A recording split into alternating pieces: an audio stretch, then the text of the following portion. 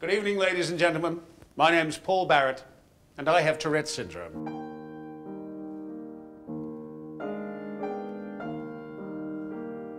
I have Tourette syndrome, so um, like, like I, uh, sorry, just It's like a hiccup, you can't really control it. But some people, like, I can control it every now and then.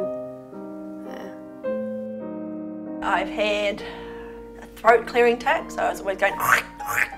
Um, I've um, used to clap my hands and stomp my feet. Hump, hump, hump. People think it's that thing where you yell out obscenities or profanities in very inappropriate places in public, churches, supermarkets, wherever, the street. I've, I say I say I say I say the F word. And it's only about 10% of people with Tourette's have that. Only about 10%. But they're the ones who get interviewed on Oprah. There was even a character on our own Shortland Street who had coprolalia. Now, you might have heard the word coprolalia. You might have asked yourself, what does it mean? Well, copro means feces in Greek.